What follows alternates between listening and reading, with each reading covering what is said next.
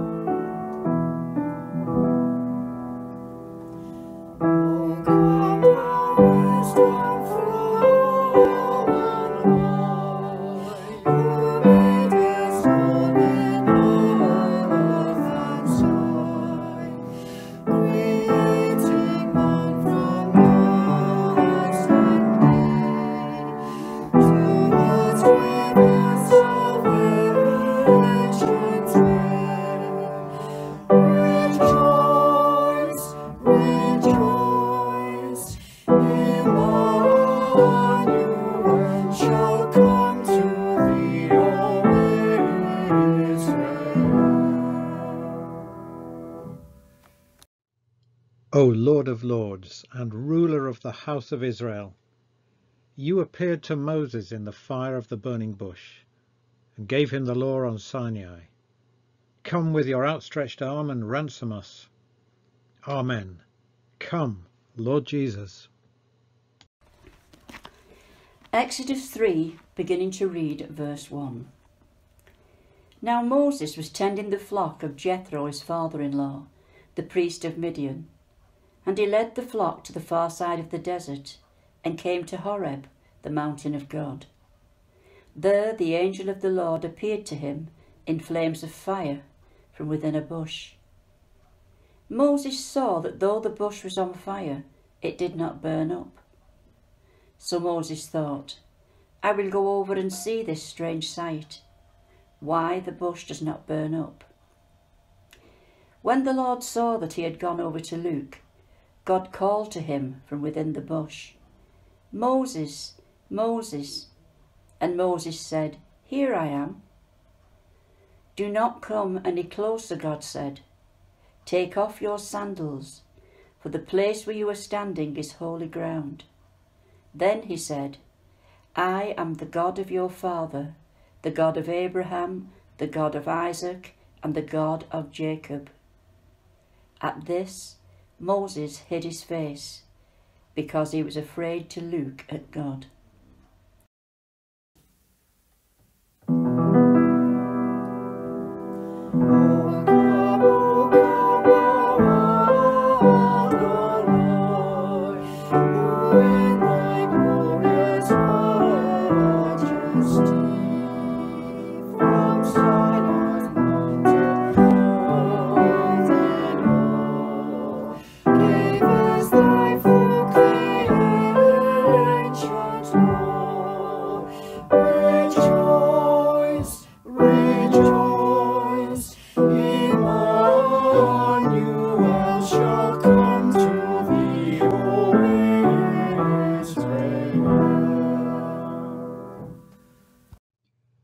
O root of Jesse, standing as a sign among the nations. Kings will keep silence before you, for whom the nations long. Come and save us, and delay no longer. Amen. Come, Lord Jesus. The reading is taken from Isaiah chapter 11, beginning to read at verse 1 a shoot will come up from the stump of Jesse. From his root a branch will bear fruit. The Spirit of the Lord will rest on him, the Spirit of wisdom and of understanding, the Spirit of counsel and of might, the Spirit of the knowledge and fear of the Lord. And he will delight in the fear of the Lord. He will not judge by what he sees with his eyes, or decide by what he hears with his ears. But with righteousness he will judge the needy. With justice he will give decisions for the poor of the earth. He will strike the earth with the rod of his mouth. With the breath of his lips he will slay the wicked.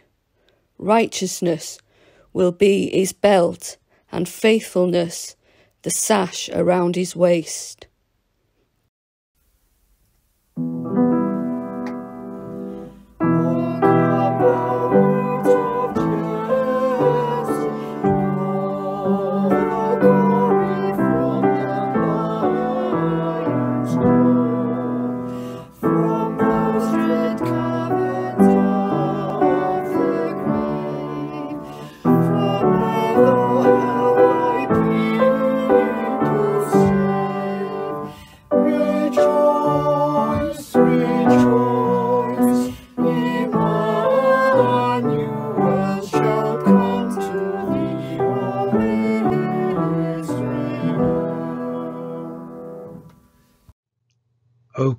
David, and Sceptre of the house of Israel, you open, and none can shut; you shut, and none can open. Come and free the captives from prison, and break down the walls of death. Amen. Come, Lord Jesus. I will clothe him with your robe, and fasten your sash around him, and hand your authority over to him. He will be a father to those who live in Jerusalem and to the people of Judah. I will place on his shoulder the key of the house of David.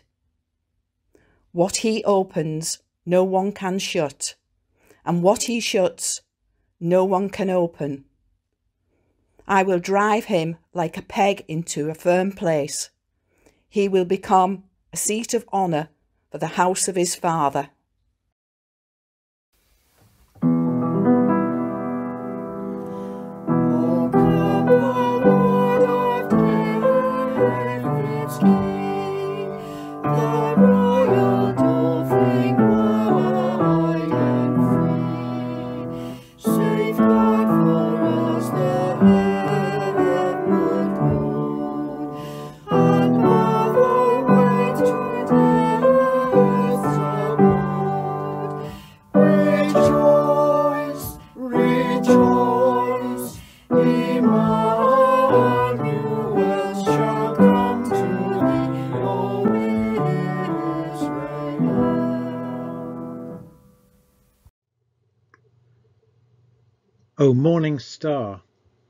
Splendour of the light eternal, and bright sun of righteousness, come and bring light to those who dwell in darkness and walk in the shadow of death. Amen. Come, Lord Jesus. The prophecy of one whose eye sees clearly, the prophecy of one who hears the words of God, who has knowledge from the Most High who sees a vision from the Almighty, who falls prostrate and whose eyes are opened. I see him, but not now. I behold him, but not near. A star will come out of Jacob, a sceptre will rise out of Israel. He will crush the foreheads of Moab, the skulls of the, all the noisy boasters.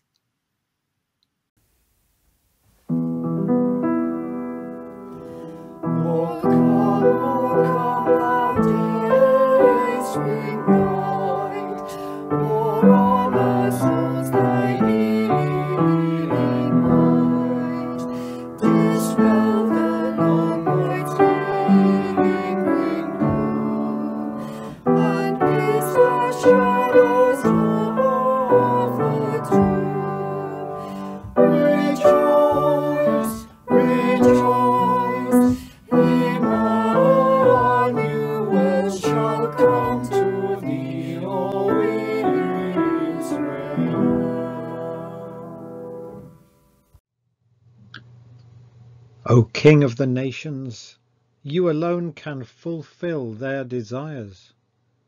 Cornerstone, binding all together, come and save the creature you fashioned from the dust of the earth. Amen.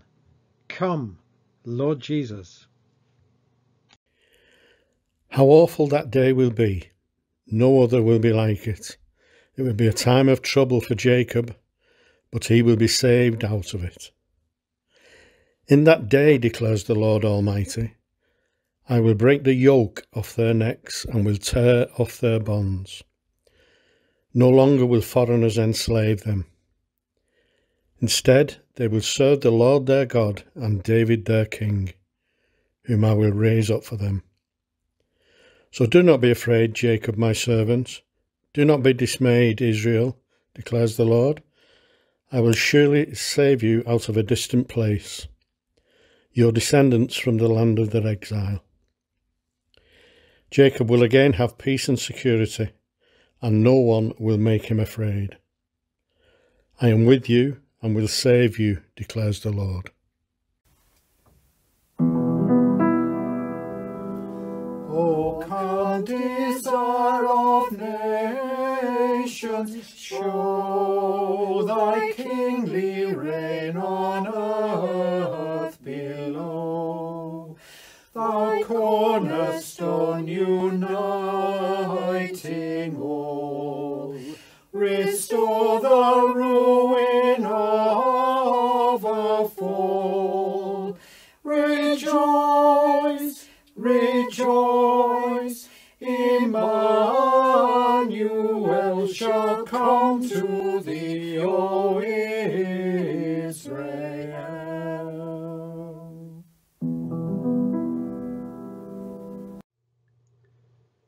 O Emmanuel, our King and Lawgiver, hope of the nations and their Saviour, come and save us, O Lord our God. Amen. Come, Lord Jesus. Now, if you're able to, please stand for the Gospel reading. Matthew chapter 1, beginning at verse 18. The birth of Jesus Christ. This is how the birth of Jesus Christ came about. His mother Mary was pledged to be married to Joseph, but before they came together, she was found to be with child through the Holy Spirit. Because Joseph, her husband, was a righteous man and did not want to expose her to public disgrace, he had in mind to divorce her quietly. But after he had considered this, an angel of the Lord appeared to him in a dream and said, Joseph, son of David, do not be afraid to take Mary home as your wife, because what is conceived in her is from the Holy Spirit. She will give birth to a son, and you are to give him the name Jesus, because he will save his people from their sins. All this took place to, to fulfill what the Lord had said through the prophets. The virgin will be with child, and will give birth to a son, and they will call him Emmanuel, which means God with us.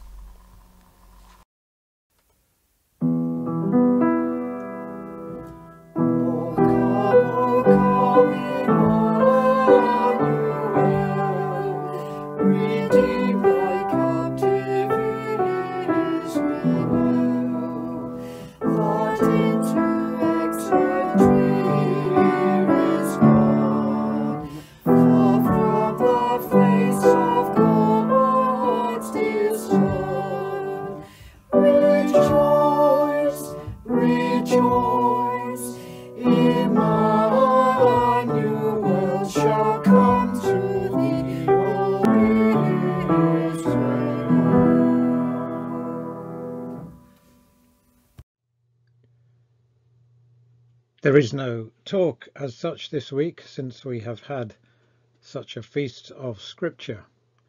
But just to pick out one or two thoughts from this passage in Hebrews.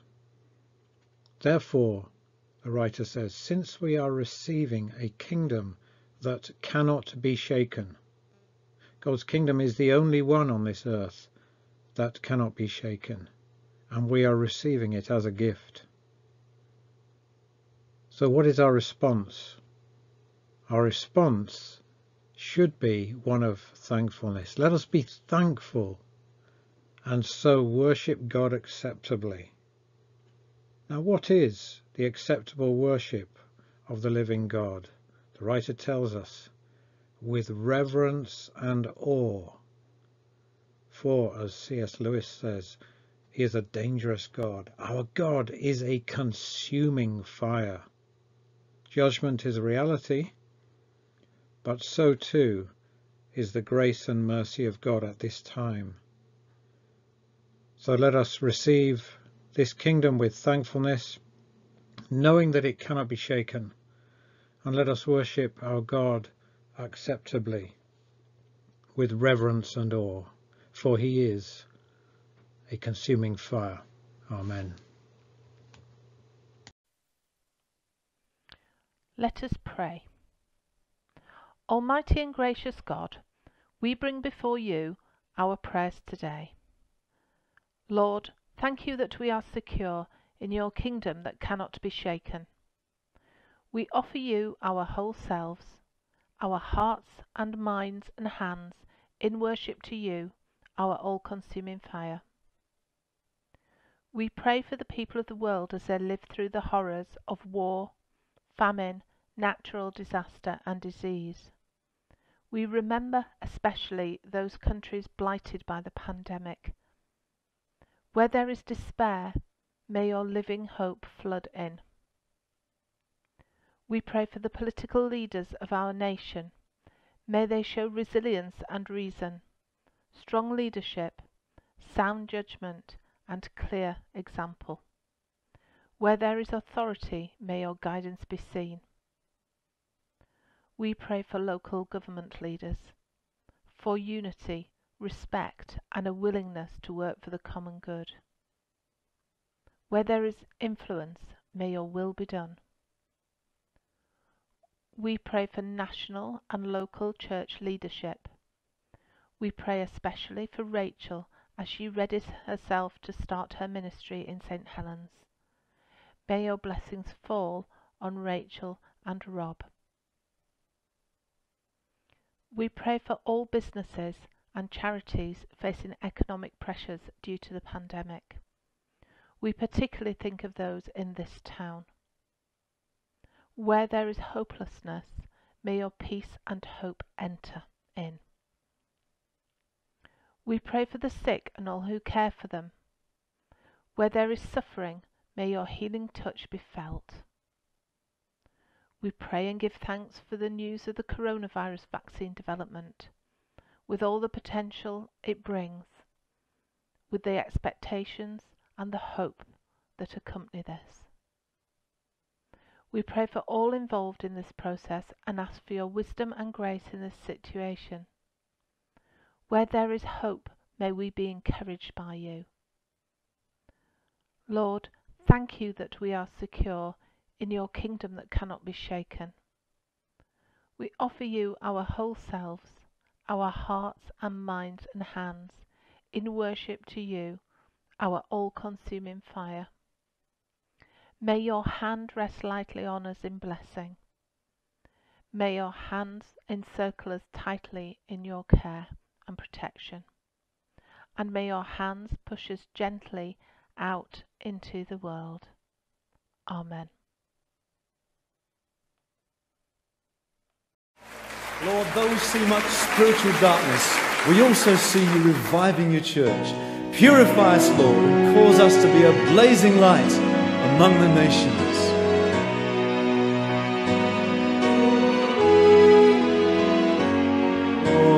Oh, clouds are gathering, the fire of judgment burns.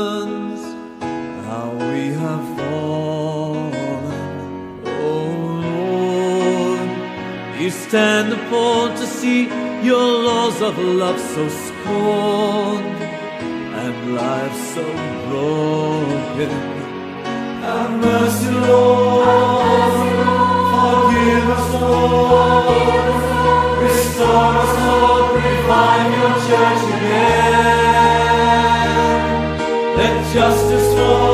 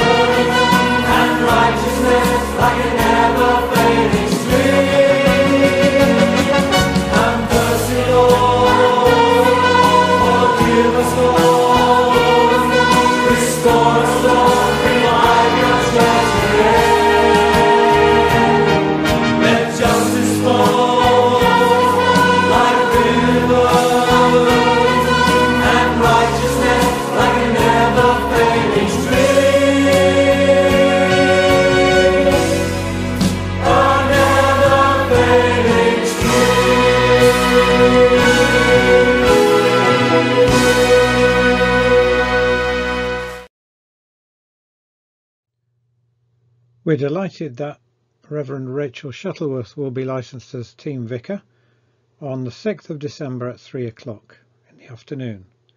Details of how to join this service online via Zoom will be available shortly. Please keep an eye on the church website and we look forward to welcoming Rachel and her husband Rob among us. In line with national restrictions, St Helens Parish Church PCC regrets to announce that the church building is closed for public worship and private prayer. This will be reviewed in early December our online services and gatherings continue and develop. Please keep an eye on our social media. Well, thank you to our seven Bible readers, Anne, June, Colin, Linda, Chris, Zandra and Debbie. Thank you to Emma for the prayers and to Derek, Jill and Nigel for the hymn. Lord our God, on the first day of creation you made the light that scatters all darkness. Let Christ, the light of lights, hidden from all eternity, shine at last on your people and free us from the darkness of sin. Fill our lives with good works as we go out to meet your Son, so that we may rejoice to welcome him at his coming. We ask this in the name of Jesus the Lord. Amen. May God the Father, Judge all merciful, make us worthy of a place in his kingdom. Amen. May God the Son, coming among us in power, reveal in our midst the promise of his glory. Amen. May God the Holy Spirit make us steadfast in faith, joyful in hope, and constant in love. Amen. May the blessing of God Almighty, the Father, the Son, and the Holy Spirit be upon us and remain with us always. Amen. Go in the peace of Christ. Thanks be to God.